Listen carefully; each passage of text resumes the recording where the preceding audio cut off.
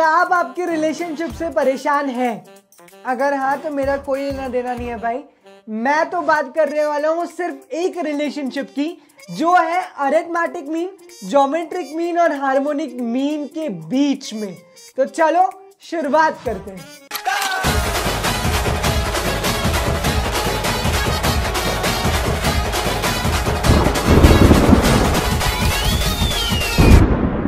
तो भाइयों arithmetic mean geometric mean और हार्मोनिक मीन ये तीनों ही हम लोग पिछले कुछ वीडियोस में कवर कर चुके हैं।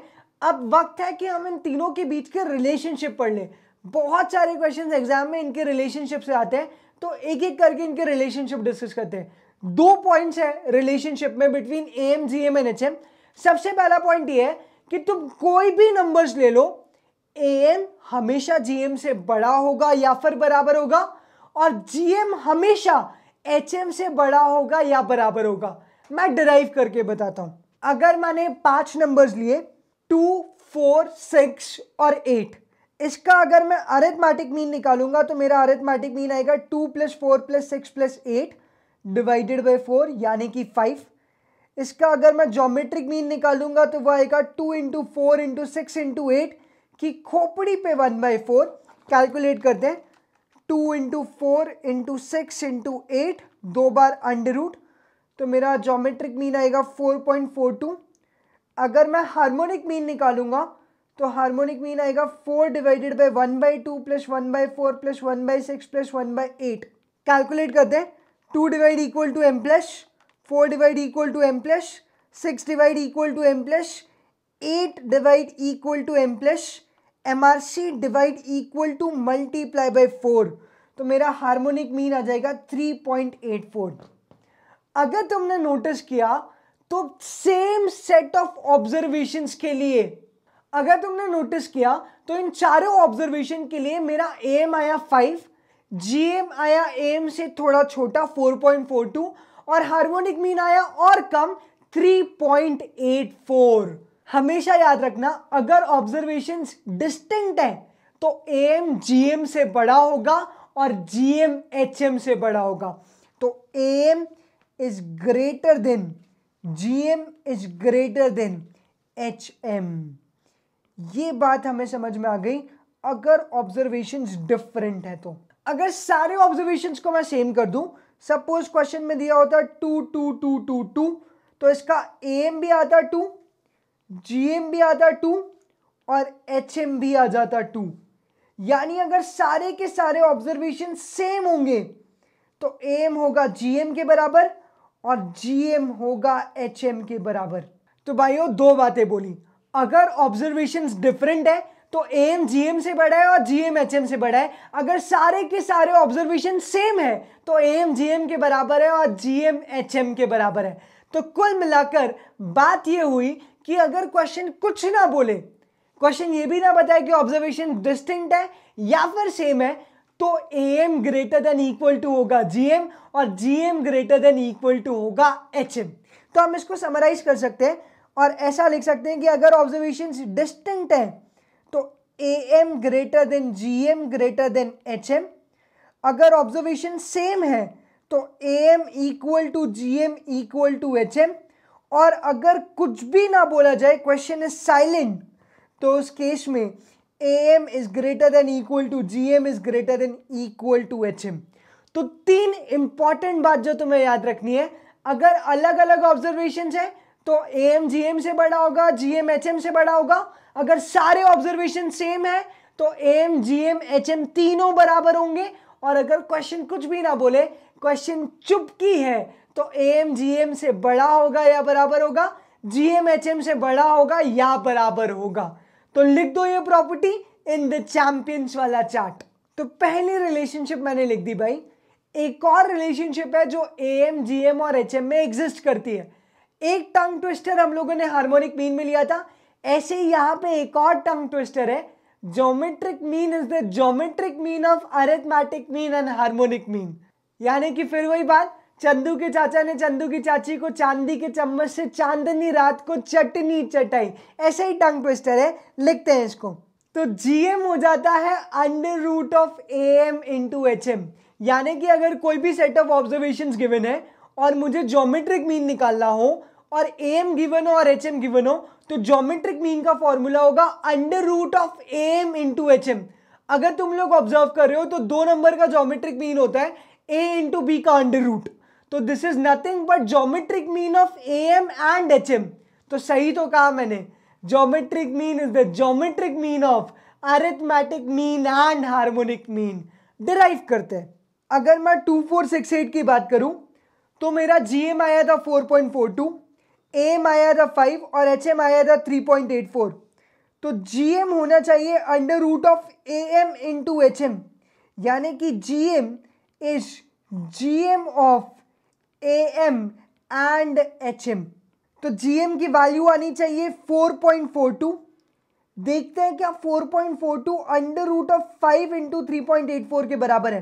क्योंकि हार्मोनिक मीन की वैल्यू थी थ्री पॉइंट एट फोर और अरेथमेटिक मीन की वैल्यू थी फाइव चेक करते हैं। अगर मैं करता हूँ five into three point eight four और दबा देता हूँ अंडर रूट तो मेरा आंसर आता है four point three eight which is approximately correct क्योंकि यहाँ पे थ्री पॉइंट एट फोर के बाद भी डिजिट्स होंगी, जो मैंने कंसीडर नहीं किए हैं। तो सही तो बोला मैंने geometric mean is the geometric mean of arithmetic mean and harmonic mean ये दूसरा पॉइंट है रिलेशनशिप का between A M G M and H M exam में भी इससे कुछ क्वेश्चन आए एग्ज़ाम के क्वेश्चन देखते हैं। तो देखो इस क्वेश्चन में जोमेट्रिक मीन दे रखा है सिक्स अरिथमेटिक मीन दे रखा है सिक्स पॉइंट फाइव और तुम्हें निकालना है हार्मोनिक मीन तो बच्चे बहुत परेशान हो जाते हैं कि यार हार्मोनिक मीन कैसे निकालूँगा? ए एम गिवन है जी एम गिवन है। हार्मोनिक मीन तो निकाल ही नहीं सकता। ना मेरे पास एन है, ना एक्स वन है, ना एक्स टू है। तो याद रखना, ये रिलेशनशिप वाला क्वेश्चन है। लिखो G M is equal to under root of A M into H M तो जी एम की जगह मैंने रख दिया सिक्स यहाँ पे हुआ under root six point five into H M अगर मैं दोनों साइड स्क्वायरिंग करता हूँ तो ये हो जाएगा थर्टी सिक्स अगर मैं दोनों साइड स्क्वायरिंग करता हूँ तो ये हो जाएगा thirty six equal to six point five H M यानी एच एम की वैल्यू आएगी thirty six divided by six point five और अगर तुम लोग नोटिस कर रहे हो तो यहाँ पर रिलेशनशिप नंबर वन भी सेटिस्फाई हो रही है. ए एम बड़ा है जी एम से और जी एम बड़ा है एच एम से. तो A M is greater than equal to G M is greater than equal to H M तो चलो एक और क्वेश्चन करते हैं। इस क्वेश्चन में दे रखा है हार्मोनिक मीन दो नंबर्स के बीच में है फोर तुम्हें बताना है कि अरिथमेटिक मीन और जोमेट्रिक मीन क्या होंगे? अगर इक्वेशन है two A plus G square equal to twenty seven तो ऐसे क्वेश्चन में हमेशा करना है नॉकआउट तो इस क्वेश्चन में दे रखा है कि हार्मोनिक मीन दो नंबर्स के बीच में फोर अरिथमेटिक मीन और जोमेट्रिक मीन की इक्वेशन है two A plus G square equal to twenty seven तो पता लगाओ वो दो नंबर्स कौन से हैं? तो ऐसे क्वेश्चन में हमेशा करना है नॉकआउट यहाँ पे रिलेशनशिप रिलेशनशिप का दिमाग मत लगाना. सिंपली कर देना नॉकआउट दो नंबर ढूंढ लो. उसका हार्मोनिक मीन निकाल के देखो. हार्मोनिक मीन आना चाहिए फोर फिर उसका अरिथमेटिक मीन निकालो. जोमेट्रिक मीन निकालो. और देखो क्या इक्वेशन सेटिस्फाई हो रही है या नहीं हो रही है. तो option number A suppose given है एट कॉमा फोर और ऑप्शन बी गिवन है सिक्स कॉमा थ्री चेक कर दे कि ऑप्शन नंबर ए से इक्वेशन सेटिस्फाई होती है। अगर ऑप्शन नंबर ए का हार्मोनिक मीन निकालूं तो ऑप्शन नंबर ए का हार्मोनिक मीन आएगा eight divide equal to M plus four divide equal to M plus M R C divide equal to multiply by two तो harmonic mean आ रहा है option number A से five point three three three three three यानी कि option number ए मेरा answer हो ही नहीं सकता। तो ऑप्शन नंबर ए को कट कर देते तू नहीं, कोई और सही। चलो ऑप्शन नंबर बी ट्राई करके देखते हैं।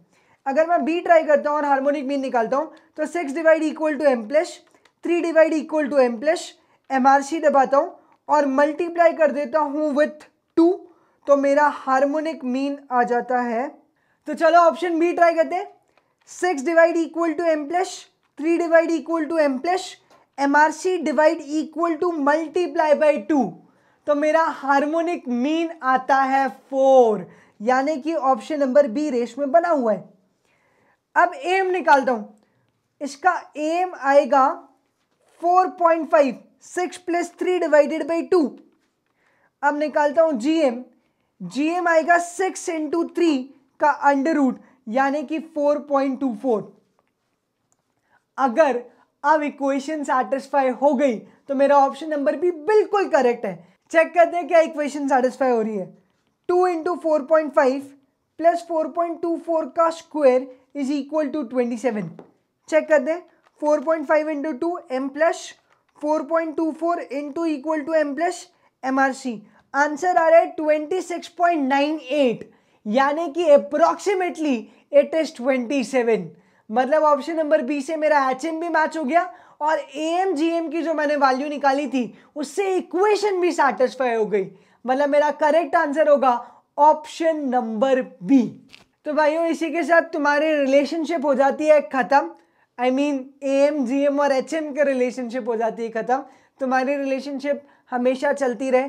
दूधो नहाओ, फूतो भलो एज दे से तो भाइयों, अब हम लोग बढ़ते हैं चैंपियंस वाला चार्ट की राइट हैंड साइड पर और बात करते हैं मीडियन की।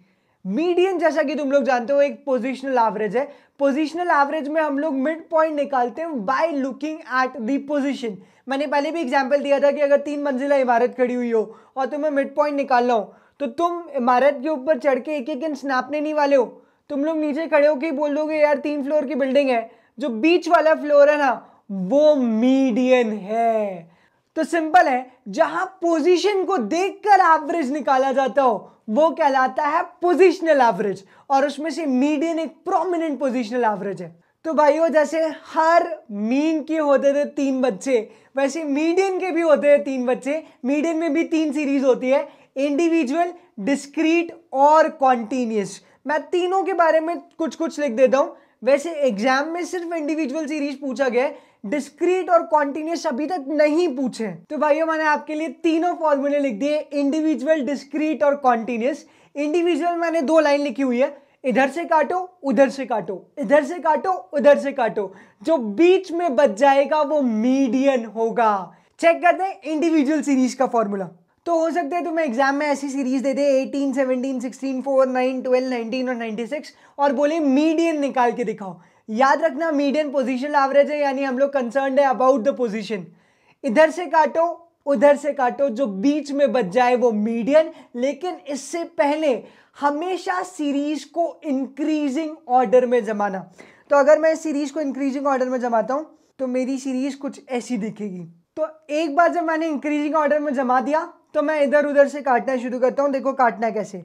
इधर से काटो, उधर से काटो, इधर से काटो, उधर से काटो, इधर से काटो, उधर से काटो। अब बीच में बच गए सिक्सटीन और सेवनटीन अगर मैंने सिक्सटीन और सेवनटीन को भी काट दिया तो मेरे पास घंटा कुछ बचेगा मीडियन निकालने के लिए। I need to calculate average of 16 and 17 अगर लास्ट में दो नंबर बचते तो मैं दोनों को नहीं काट सकता। तब मेरा मीडियन कुछ भी नहीं आएगा। तो लास्ट में जो दो नंबर्स है, मैं निकाल लूँगा उनका एवरेज तो मीडियन हो जाएगी 16 प्लस 17 डिवाइडेड बाई टू यानी कि 16.5 डन टना बहुत सिंपल है मीडियन निकालना। एक और क्वेश्चन करते हैं। तो एक और सीरीज़ दे रखी eight seven six five eleven twelve और एटीन और बोला है कैलकुलेट मीडियन तो सबसे पहले इसको इंक्रीजिंग ऑर्डर में जमाओ। तो एक बार इंक्रीजिंग ऑर्डर में जमा दिया, फिर इधर से काटो, उधर से काटो। ये इधर से काटा, उधर से काटा, इधर से काटा, उधर से काटा, इधर से काटा, उधर से काटा। अगर बीच में सिर्फ़ एक ही नंबर बचा है तो वो हो जाएगा मीडियन तो यहाँ पे मेरा आंसर आने वाला है median is equal to eight तो इंडिविजुअल सीरीज़ बहुत आसान है, मैं यहाँ कोई फॉर्मूला नहीं बताने वाला इवन और ऑट के लिए। अगर बीच में दो नंबर बच जाए तो दोनों का एवरेज ले लो, और अगर बीच में एक ही नंबर बचे तो वो कहलाएगा मीडियन और काटा पीटी करने से पहले हमेशा इंक्रीजिंग ऑर्डर में जमा लेना मेरे भाई। अब डिस्क्रीट सीरीज़ में क्या होगा भाई? क्वेश्चन एक्स और फ्रीक्वेंसी के साथ गिवन होगा। तो भाई और डिस्क्रीट सीरीज़ में एक्स और एफ़ दोनों गिवन होगा। यहाँ पे तुम्हें सबसे पहले निकालना है क्यूमुलेटिव फ्रीक्वेंसी तो क्यूमुलेटिव फ्रीक्वेंसी आ गई टेन थर्टी और सिक्सटी जो लास्ट क्यूमुलेटिव फ्रीक्वेंसी होती है, वो कहलाती है एन देखो, पहले ही बता देता हूँ, यहाँ से कभी कोई क्वेश्चन नहीं आया है। ये सिर्फ़ हम लोग फॉर्मेलिटी पूरी कर रहे हैं, क्योंकि ट्वेंटी डेज़ प्लेज का एक बहुत महत्वपूर्ण ऑब्जेक्टिव है कि तुम पास हो जाओ। कोई भी कॉन्सेप्ट नहीं छूटे, सब कुछ डिटेल में कवर हो, लेकिन कम टाइम में। तो ध्यान से देखना, लेकिन ये एग्ज़ाम में नहीं आया है तो बहुत ज़्यादा फोकस मत करना रिपीटेडली इसके क्वेश्चन सॉल्व मत करना।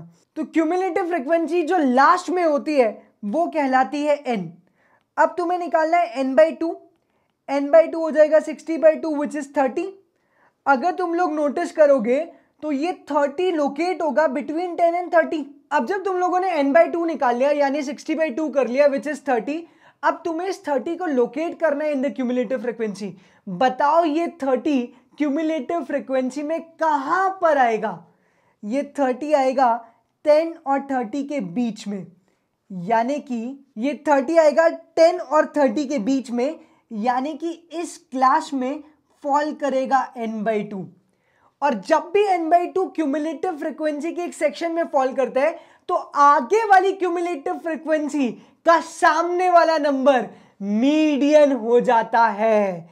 यानी कि यहाँ पे जो थर्टी है थर्टी के सामने वाला नंबर टू हो जाएगा मीडियन तो बहुत आसान है डिस्क्रीट एन बाई टू निकालो एन बाई टू को लोकेट करो। एन बाई टू जिस भी सेक्शन में लोकेट होगा, उसकी अपर लिमिट का सामने वाला एक्स हो जाएगा मीडियन अब क्वांटिनियस में एक्स की वैल्यूज़ ग्रुप के साथ दे रखी होगी।